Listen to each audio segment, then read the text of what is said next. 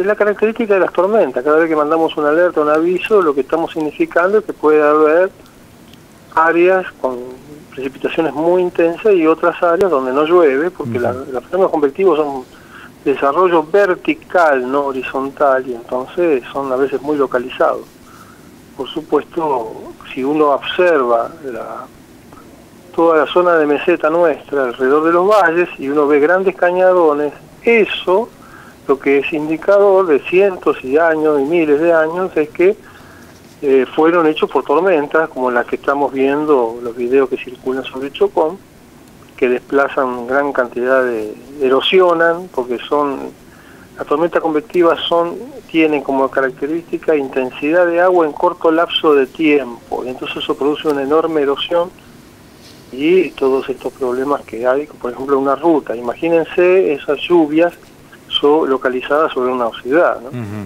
Lo que puede ser. Claro. Fernando, eh, para llevar... es normal eso, digamos. Es normal. Para, bueno, para llevar un poco de tranquilidad a los productores, sobre todo de la región, eh, ¿se prevé caída de granizo para los próximos días, para las próximas horas, o eso es algo no, que ya no, pasó? estuvo cayendo granizo en Plotier y seco, sí, así que algo de daño debe haber hecho, es lo que me informan. El nuevo granizo de ahora esta tarde. Ajá. Y la tendencia es que esta noche y mañana ya mejore. Mañana a la tarde vamos a tener vientos, viento del oeste, vuelve Patagonia, esos vientos que no son tan deseados en realidad nos evitan todos estos problemas, digamos.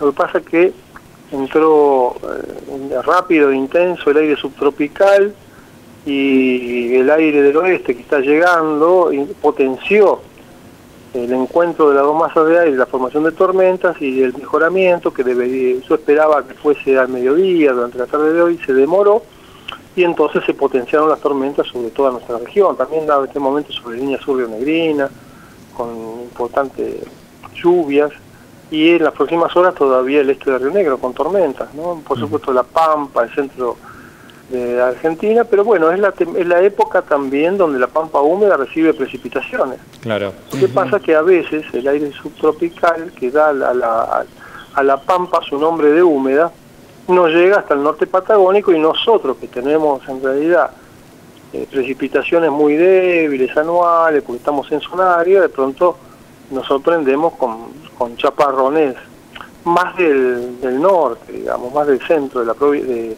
Argentina, donde Ujú. pueden caer 100 milímetros en poco tiempo. Claro. 100 milímetros, 50 o 20 en un corto lapso de tiempo, es todo un problema para nosotros. ¿no?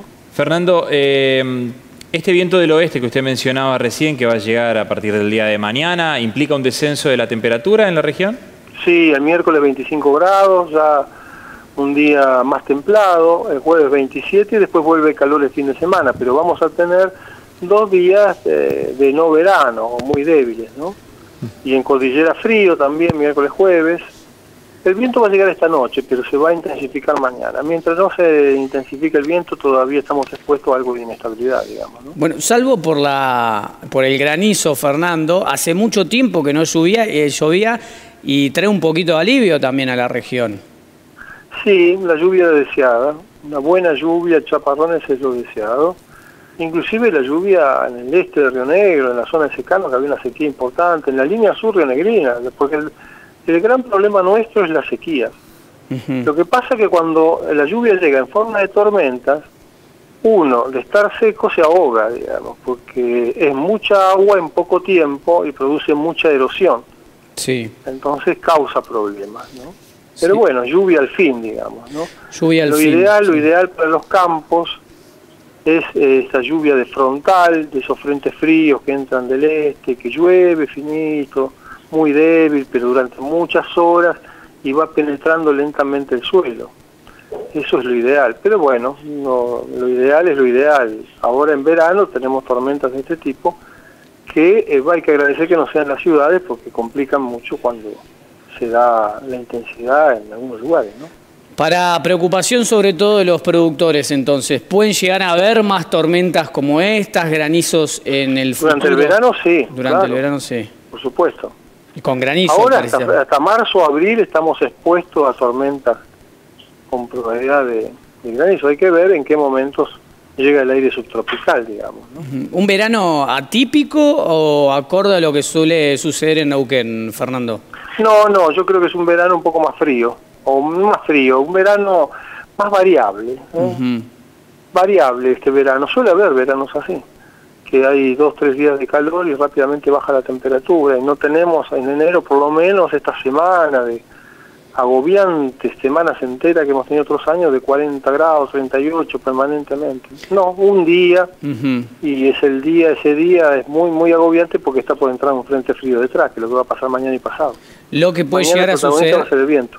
Bueno, pero muchos nos quejamos cuando viene el frío, nos quejamos del frío, cuando viene el verano nos quejamos del calor. Pero bueno, esta lluvia trae un poquito de fresca también a, la noche neuquina y sobre todo teniendo en cuenta y puntualizando ahora en qué va a pasar el fin de semana. Quizás me estoy precipitando demasiado o que puede llegar a venir calor para el fin de semana teniendo en cuenta una tiempo semana bueno. fresca. La semana tiene tiempo bueno donde estemos, en cordillera, en la costa, en los valles.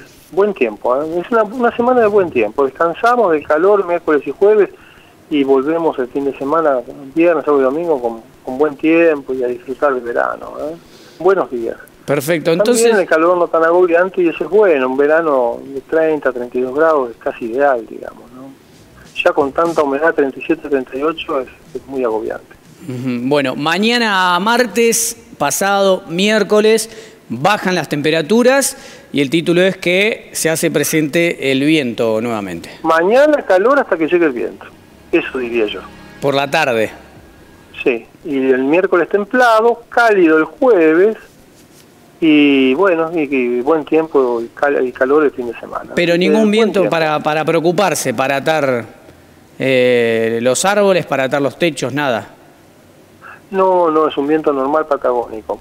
Si ha llovido mucho en algunas zonas, pueden debilitarse algún árbol, hay que tener cuidado mañana, pero no es el temporal de viento del otro día, 60, 70, alguna ráfaga tal vez menos. ¿eh? Mañana va a estar ventosa la tarde, va a bajar la temperatura. Perfecto. Bueno, estaremos hablando, lo estaremos molestando y le agradecemos, por supuesto, por el servicio de usted, Fernando Fraceto.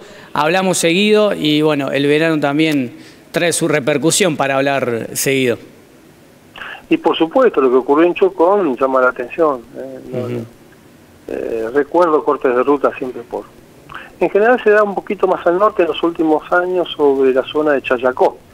Ahora tocó a la misma altura, la 237, pero un poco más al sur. Y no quiero recordar el 75, que fue terrible, en abril, y que allí se cortó la ruta 237 en, varios, en varios lugares, y en Chocón se quemaron los transformadores y se inundó la casa, la sala de máquinas de, la represa, pero esa es otra historia. Perfecto. Fernando Fraceto, gracias por el reporte, por la información.